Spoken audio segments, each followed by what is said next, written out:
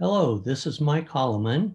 I'm an air conditioning and refrigeration mechanic, uh, a mechanical engineer from uh, for about 45 years. Uh, got a background in uh, different types of refrigeration and uh, from all kinds of things, from aviation to the Space Center to uh, your walk-in cooler at your local deli.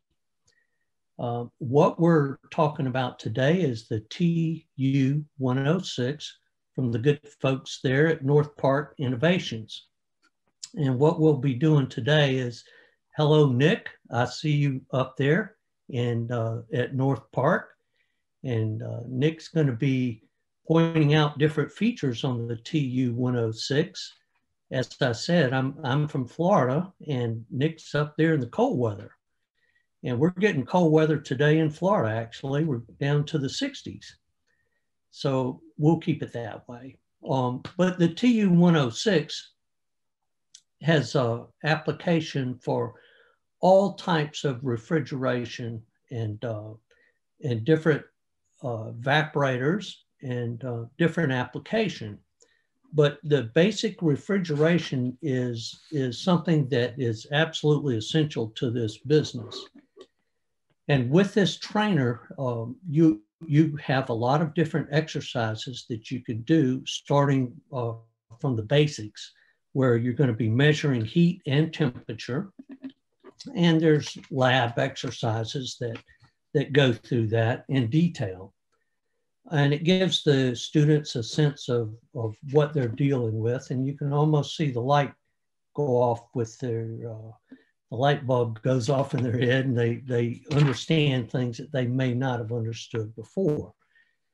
And the beauty of the TU 106 is you, you have a complicated piece of refrigeration equipment right in the classroom. So you can read about it, you can study it, you do your book work, and you turn right around within a couple of feet, you can actually see it in action. Uh, you can interact with it uh, in the sense that you can use different type of expansion devices and um, you can measure different sensible and latent heats. There's exercises for that and um, detailed exercises. So as the students get a good handle on, on what these different things are, uh, they can they can apply it directly with the TU 106. Um, there are different exercises starting in the in the lab book with these these different uh, uh, data type recordings, and um, you get you get cause and effect going right there. And then you have uh, different refrigerants that have different characteristics, and this is also covered. And that's the beauty of using the um, different equipment that the good folks there at North Park Innovations have and can offer. Um, the beautiful thing about it, like I say, is you get it right in the classroom, and it's uh, the equivalent of having a walk-in freezer right there. Um, so, but on your introduction, um, you you are um, basically absorbing heat from an from an area that is undesirable and you're putting it the heat you're removing it and putting it somewhere else that it's uh is it is desirable. And that's the basics of all refrigeration and uh, air conditioning actually. But um, when you when you also look through the lab book there there are different types of schematics for the refrigeration. So you can actually get get your different colored pencils for the students and, and they can see exactly where those temperatures change and, and what all is involved. Um, Nick, you see the compressor there. Nick will point the compressor out. Um, sure. The nice commercial refrigeration compressor. And there's a reason uh, the efficiency of that compressor is uh, so it can handle the load that is going to be put upon it. Um, we have um, uh, different different type scenarios that you also can go through in the labs, and the, you talk about uh, compressor issues and the different issues you can have with a compressor, um, you know, where you lose efficiency and uh, different things cause that. A uh, couple of the highlights, or you have a valve leak and it's it's uh, hard for it to hold a pressure. When you have valves leaking, you're not having all the desired effect of that uh, compression cycle. Um, but you can have a discharge valve leak, you can have a suction valve leak, and you can have um, uh, the piston itself leaking, which which you know has rings around it, and uh, as it goes through its cycle. And there's exercises to where you can you can go through the lab book there again, and uh, it's all laid out for you. Uh, they've done a really nice job as far as having different um, a variety of things that you can do and engage the students.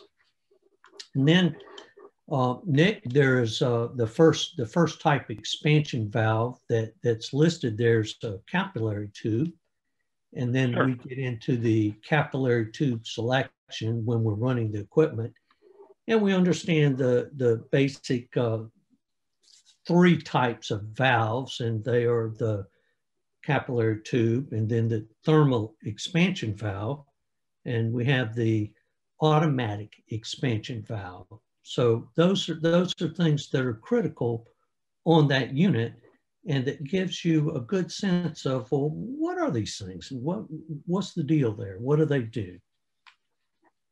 And there again, there's, uh, there's excellent descriptions of what goes on with each one of those valves as you go through your laboratory um, experiments with the students. Um, and, and they highlight the different, different uh, features of each valve, what, what the asset and uh, what, what the good and the bad is basically with them. And more importantly, what the application is. Um, and you go through and you can you can do the different different type valves and uh, actually run the equipment and you'll see the different cause and effects and there again there's a, a schematic that you can you can basically color in and you can see what happens and where but the capillary tube they talk about uh, basically that is what um, the that's what moves the refrigerant because as the compressor starts, it automatically creates a low pressure and the capillary tube provides it basically on a high pressure. Once it goes through the capillary, it drops the pressure and it goes through the refrigeration cycle. Now, the um, the automatic expansion valve, that's, that's another, another uh, part of the lab that it goes through. And it talks about, you know, for different applications, for example, that wouldn't be a very good thing for, um, for a domestic refrigerator. Um, they, they tell you, well, when would you use it and uh, what's it for? Well, the AXV we know is uh, to maintain a constant pressure in the evaporator. And, uh, and no, no refrigerant flows through uh, unless the pressure of the evaporator is reduced, and that, that initiates the flow. Um, uh, there's a control spring in there that, that reacts when those pressures are changed. But there again, there's, there's pre-lab exercises, and then you go through and you do the, the exercise, and then, then you compare what you thought and what you learned. So awesome, awesome stuff. Um, and there again, each section of the chart has, or each section of the lab has a, a different uh, schematic that, that helps illustrate what's going on uh, with the system. Then you have the thermal expansion valve. That's up there, right, Nick? You yep. got that right there? Yeah. And, um, and that operates on the principle of superheat and you go through there again. Uh, once you once you understand, for example, the sensing bulb and the sensing coming out of the evaporator um, and, and, it allows more or less refrigerant into the evaporator. So it maintains that uh, degree of superheat. And that's, that's what the TXV is all about in maintaining uh, the most efficient operation. Now in Florida, most of the, most of the uh, air conditioning in Florida is the uh, based on efficiency is the thermal expansion valve. There's no question about it. That's the way to go uh, for most most systems here. And our technicians are trained to to properly charge a system um, by superheat if it's a thermal expansion valve.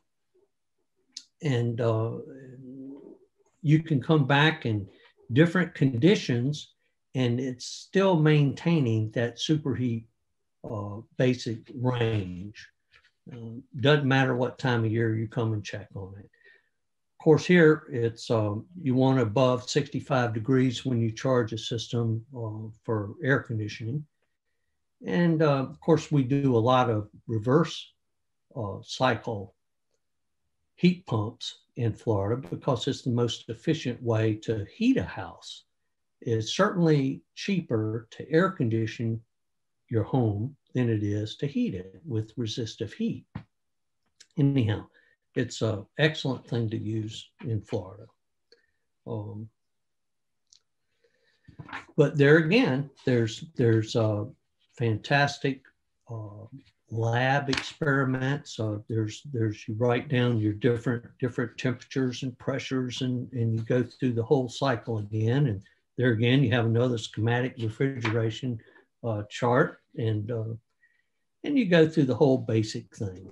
Um, it's, it's constantly, constantly um, revealing something new and something different and something that'll entertain the, the troops. Um, then you get into the commercial refrigeration and you go well okay well what what can be commercial refrigeration well um, that's gonna that's gonna the devil's in the details and how you handle different uh, commercial refrigeration systems is uh, all the difference in the world um, you have uh, sometimes multiple evaporators uh, you you have different type systems uh, you have different compressors um, you have um, the same thing with uh, possible problems with the compressor, uh, with the different different types of um, of leaks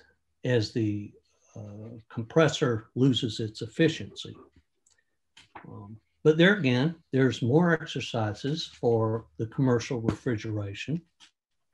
And then you get into the, the defrost cycle, now, when you get into a heavy, uh, low temp, and we're talking minus 10 degrees walk in freezer, well, that presents a lot of problems in itself, trying to keep something that big, that cold, especially in a, a humid environment. Uh, because you have to get product in and out. And a lot of times it requires leaving the door open while you use a hand truck to bring in food and put it on the shelf. Um, so there's a need to get rid of the moisture that is introduced into the system and to maintain that low temperature. And of course, you have uh, uh, different, different uh, challenges when you do that. Uh, one of the biggest challenges is every time you open the door, you introduce humidity. And now you need to get that humidity out because where's it going to end up? it's going to end up on that evaporator coil. Um, you have the fans running all the time and and it's a low temp. So you're going to be building ice on that coil. So you have to go through a defrost cycle and get rid of that.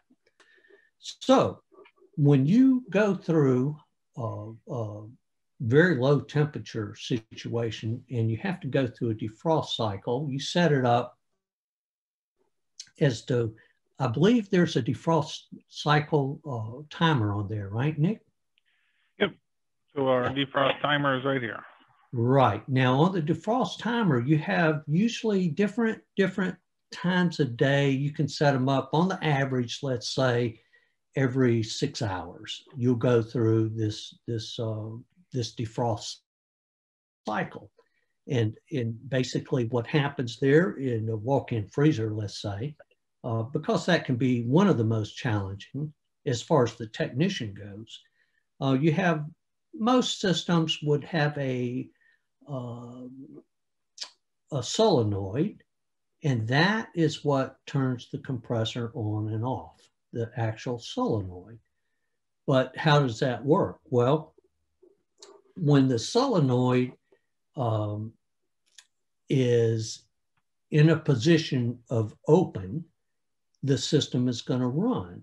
But what, what happens, the defrost controller will allow the, the, the solenoid to close. Therefore, it, it pumps down the, the refrigerant in the system. So you have, you have to have a place to put all that freon. So there's, what do you have there to take care of that, Nick? So down here, we've got um, a receiver and our accumulator. So the accumulator before the compressor, that'll store any, any excess refrigerant. Right. And as you know, when you first start a walk-in freezer, it's 80 degrees, let's say, uh, you need to get it down to minus 10. So when you first start that system, you're going to need a lot more refrigerant to take care of that load to get all that heat to the outside. So you're absorbing the heat and, and relocating it to the outside. And as you get closer to minus 10 degrees, you don't need as much refrigerant, right? So it's stored for you. It's there when you need it. But to initiate the defrost, I'm just going to say this um, different systems, depends on the manufacturer, they do it different ways. But basically the, the uh, solenoid restricts the flow of refrigerant and the compressor goes off on low pressure. Now this happens simultaneously. What happens is it shuts the compressor off by low pressure and um, it also turns the evaporator fans to the off position. And it also um, turns the heater on that heats up the evaporator. And uh, from that point, the temperature is being sensed on the evaporator. There's, there's a temperature sensor that's mounted on there, and it goes to what we call a defrost termination switch. And on the defrost termination switch, it does a couple of things, but it's sensing the temperature, okay? So when it is in defrost, the compressor's off, the heater's on, the evaporator fans are turned off, okay? And it stays that way as it melts off the accumulated moisture on the evaporator. Once that happens, then um, it energizes the solenoid. Now that defrost termination switch also says, okay, we're at temperature we're above freezing. There couldn't be any ice left. So we're going to let that refrigeration cycle begin. So it activates the solenoid, pressure rises, compressor comes on. It's no longer off on low, low pressure, right? So it starts, it gets the, the evaporator freezing. And in the meantime, the defrost termination switch holds the fans off, doesn't let them come on until it feels the temperature of the evaporator has gone well below freezing. Once that happens, then the evaporator fans start and the cycle is returned basically uh, uh, back, back to freezing. And until the next six hours, it all happens again.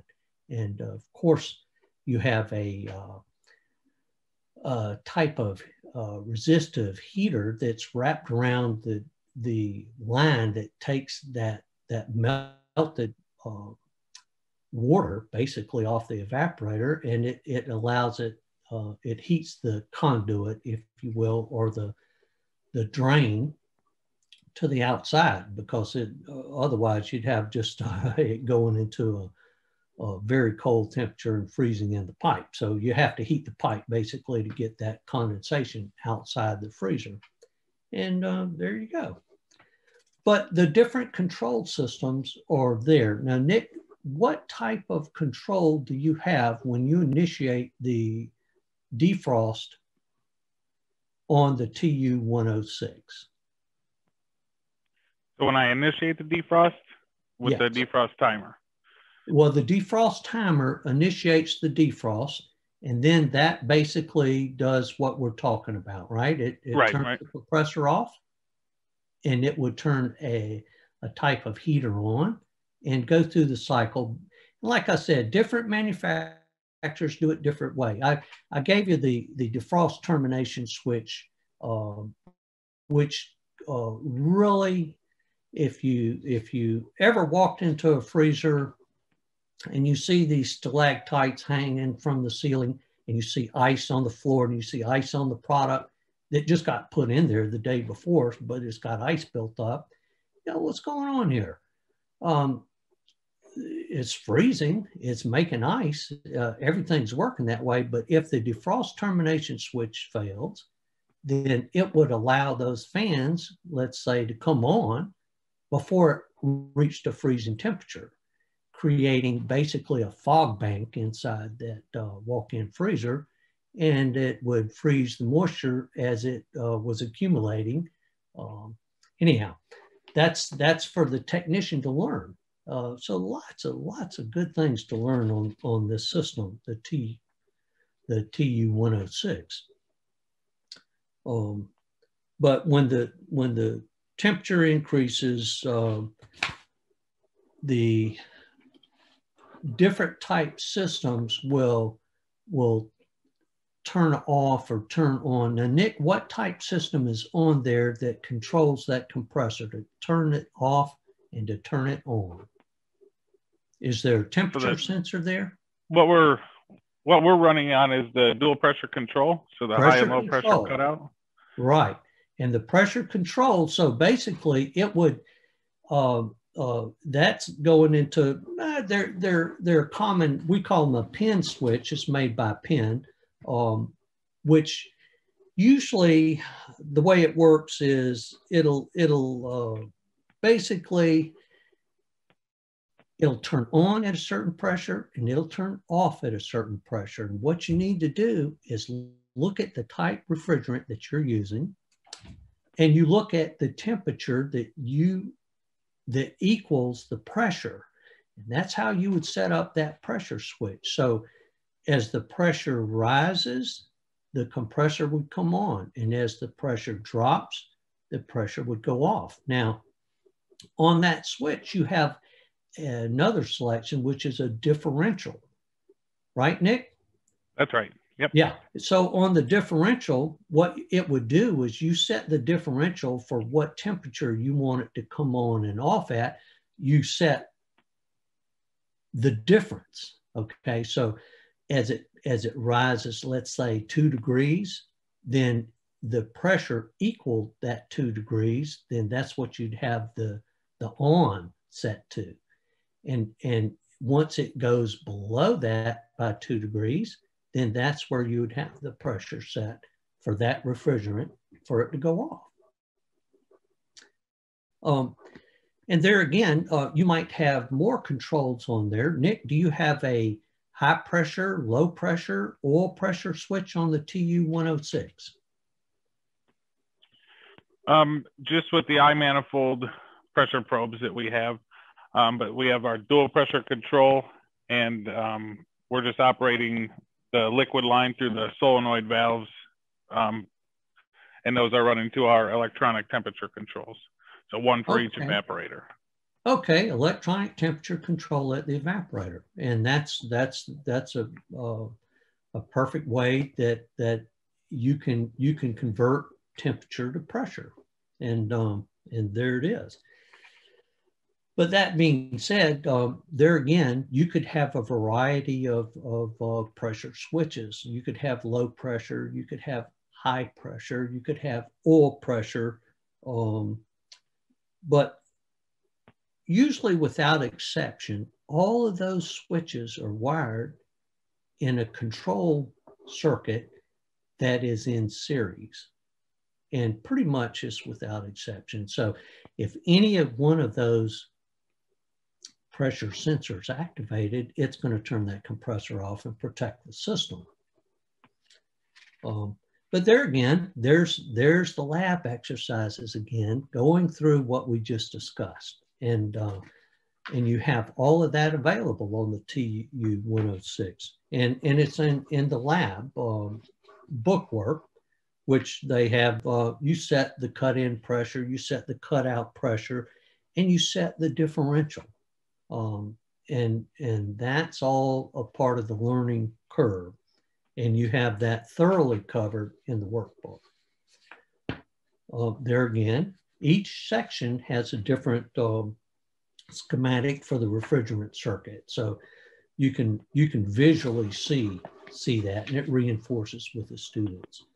Um, but and and then we go into the compressor and um, you know you, you revisit the compressor a couple of times and, and because that is basically the heart of the system. And when you understand how the heart works it's exactly like the compressor. Uh, your heart works on the same principle. As it beats it creates a high pressure but at the same time the fact that it squeezes it out it creates a suction. It creates a lower pressure. And that's what you get at the doctors every time you go and they, they take your blood pressure. That's what they're looking at. Well, what they've done here is they're, they're able to put this up on a, on a, a visible scale to where you can look at the high pressure and you can look at the low pressure uh, while it's operating. So very cool stuff. Um, but there again, going through the compressor, there's there's lots of exercises in the lab uh, where you you actually go through and and you you learn the value here also of using your meter, your your hand tools. For example, your your volt ohm meter. Uh, with that volt ohm meter and with the uh, resistance setting, you can you can pretty much uh, tell electrically what's going on. Now, mechanically is, is one thing, electrically it's another. So you can, you can, with that ohms resistance, you can tell a lot about what's going on inside that uh, winding. So you can get the health of the compressor that way. Um, but when you are able to analyze that compressor, that's the mark of a great mechanic because if you don't understand these basics, um, then you're going to be you're going to mm, probably be coming up short when it comes to troubleshooting the system. And the one thing that we don't want to see in in in the field is a callback because well we miss something. We hate that, but it happens. But we try not to let that happen. Um, but you have to be able to analyze the situation, both mechanical and electrical. And this is all, all visited in the, in the labs that, that they reinforce that on the TU 106. And then they start with the uh, start components. And what type start components do we have there, Nick, for the compressor? Right, so here's everything um, in a, in a small little bundle electrically that's going to go to an electric box on top of the compressor. So in this portion can be pulled off to do all of your testing. And we've got a little wiring diagram to show the different, the starting capacitor, the potential relay, and, it, and it's all color coded too. Right. And, and, and the potential relay um, is, is something that they, they will also get very familiar with and when do you need a potential relay and uh, um, you have a current relay for a split phase right and so you'll have a, a potential relay, which that, that does have there, and that's for a capacitor start motor. And that's basically the difference. And um, there's, there's detail there again in the lab as you go through the book. Um, but you'll have your your actual start winding and your run winding resistance and and you document all of that as you go. Um, but let's say you have on on a commercial refrigeration you have multiple evaporators which you will have in this case right nick? You got two evaporators up there. Yeah. Okay so now you ask yourself well okay um, how do you control two evaporators? I mean, it, maybe uh, how does that work? You know, what what's the deal there? How do you control them? Why would you want two evaporators on on one one compressor? Well, it makes a lot of sense, but then you get into the fact of the details of how do you control that when you have uh, uh, multiple evaporators? Well, in a commercial system, you're going to have that and and you may have, uh, for example, in in a uh, in a grocery store, you have a display case, and the display case has has several cases that run off of the same compressor, and yet all of those cases may have the same desired temperature. So that's how you can control that. Um, but let's say you have a uh, a refrigerator and you have a walk-in freezer on the same compressor circuit. Could you do that? Absolutely, you can do that. And there again, the beauty of the TU106, it removes all doubt in exactly how you go about doing that. And for example, you, you go through an exercise where you might have display cases, like I say, running off of the same uh, unit. Uh, and you have the exercise that goes through that goes through all of that. Um, but if you have different evaporators, uh, temperature requirements, then you're going to get into you've got to control that evaporator. And um, how would you do that, Nick? Isn't there some some uh, solenoids on there? Right. So with our electronic temperature controls, the temp sensor is at the end of it. We can place that in front of the coil to, to open and shut our solenoid valves here in the middle. Okay, outstanding. And um, so what you can do then is you have, do you have two temperature controls that control solenoids? Yeah. Okay, well, there it is. That way you can set the different temperatures that turn on and off the flow of refrigerant to the different evaporators. And it's basically just that simple. Um, so when, when they reach the desired temperature, the solenoid is, is activated, shutting the system, shutting the flow of the refrigerant off on, on the system and uh, it's cool stuff. And there again, it's all it's all um, illustrated in the lab manual itself. So you you have you have a way to document and to take the students through that through that uh, journey, if you will, through the commercial refrigeration. Then you have something else. Um, do you have uh, the heat exchanger on on that unit, Nick. Yep. So over here we have the heat exchanger, and then we also have a bypass to flow around it. Okay. So now you go, wait a minute, what what's a heat exchanger all about? Well, it, there again, it takes you through the whole process, and, and you'll learn on that journey where where the heat exchanger uh, is used and, and what it's what it's used for.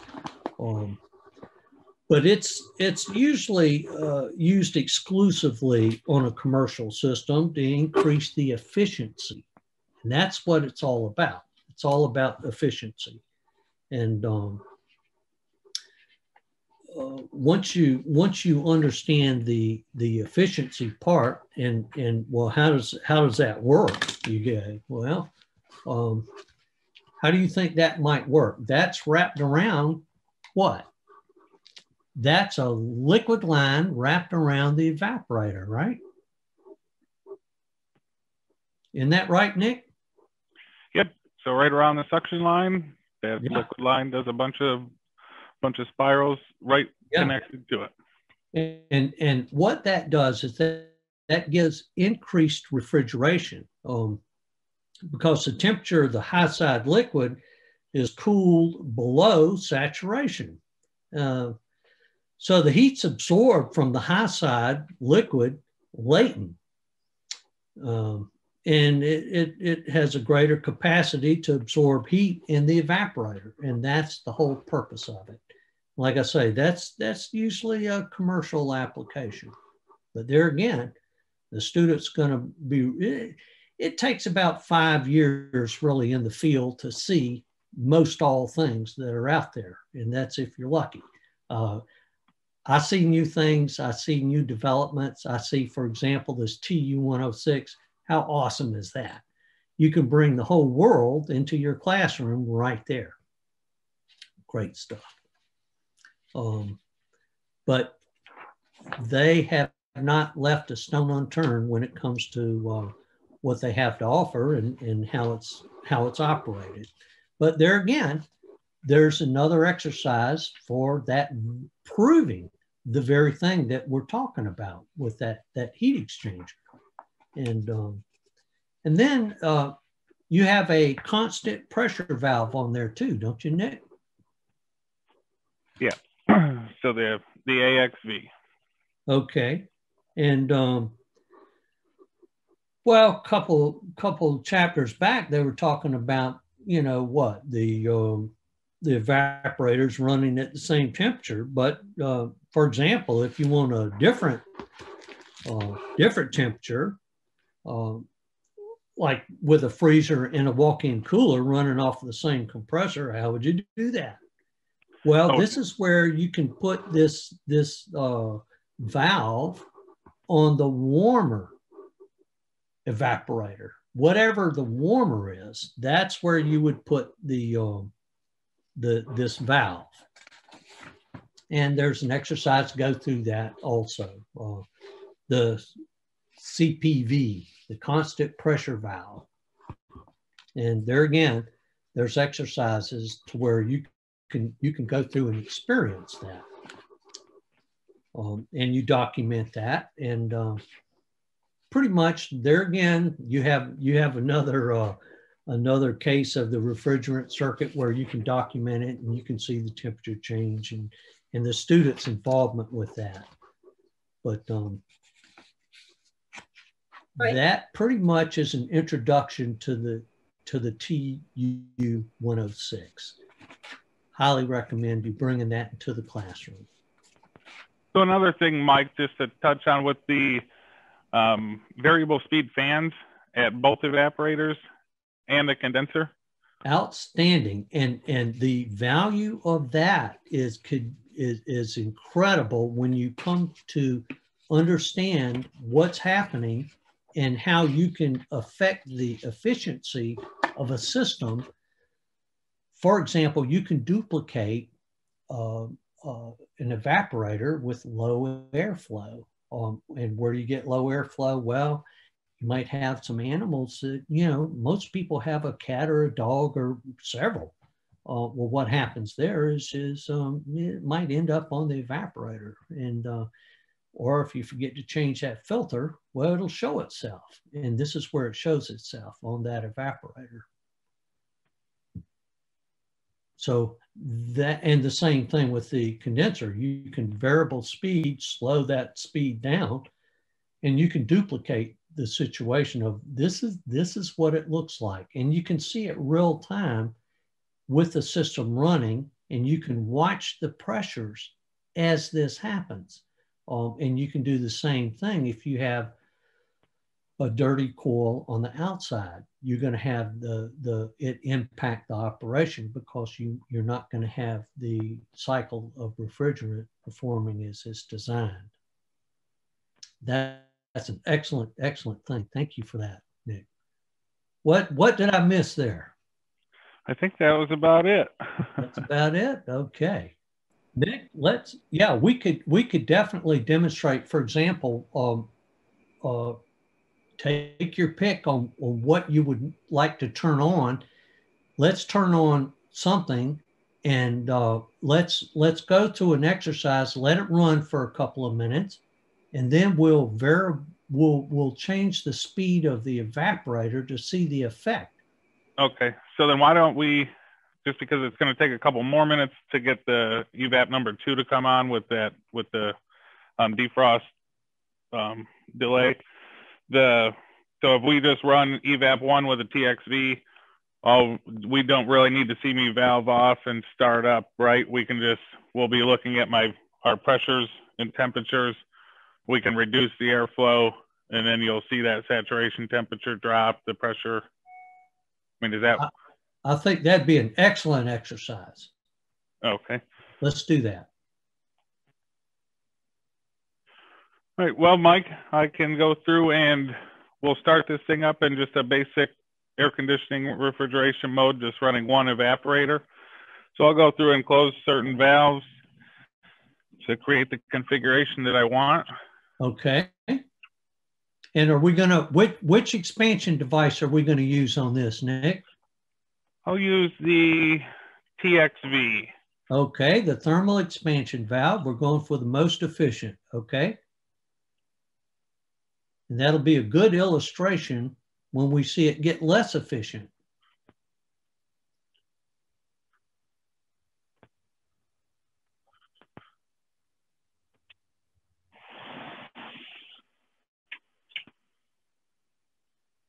So now I'll need to call for cool here. Okay, and you're activating the electronic temperature set, right? That's right. So there's my compressor on. My solenoid valve is open, so that's going to allow refrigerant to flow through here. So I've got my fan speed down kind of low. I'll turn that all the way up so that yeah. we can. We'll Go ahead and turn it. Yeah, turn it up like it's fully started. I uh, immediately saw the pressure change and we'll run it as efficient and as designed. Then yeah, we'll, so mess- and we can see on our gauge set here, we'll see our saturation temperature start to drop. So once we get a stabilized coil, then we can mess with that airflow to see the effect that that temperature has. Excellent. So if we look at all four of these sight glasses here, that's everything that we've got in play. So coming out of our compressor through our discharge line, we can see that we have a hot gas entering the condenser. And down at the outlet, we can see that we have a solid column of liquid refrigerant flowing through that and into our receiver. So if we continue to follow that line set, we'll go through our filter dryer then through the solenoid valve, through the flow meter, and into one of the three metering devices. So then I'm coming through my TXV, entering the evaporator, and then coming out of the evaporator. So now we should have our low temperature, low pressure vapor with a trace of oil going back to the compressor. And we're using 134A, correct? We're using 134A. So right here, we're we're bouncing between 41, 43 degrees at our evap coil. So if I slow that fan speed, I'm just going to slow it all the way down so we can really see that effect. So in real time, we'll see that saturation temperature drop. Our pressures are going to drop, and now it'll start to function at a lot lower temperature. What a different in, difference in efficiency. Right, so now you can see we've almost, we've lost about 20 degrees um, at our coil. So is there anything else that we, that you want to see operating, Mike?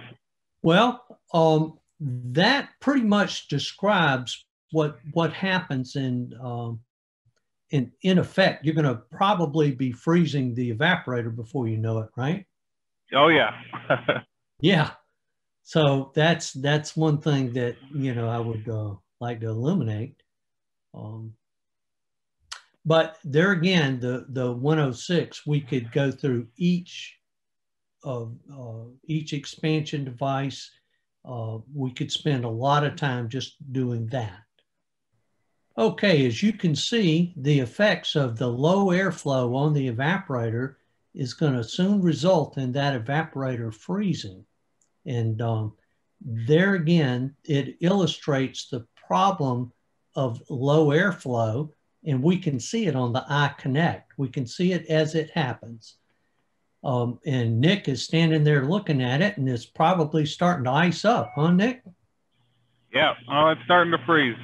okay, well, that's the that's the uh, learning point of the variable speed on the evaporator, and both evaporators have variable speed, and or do they, Nick? Yep, both do.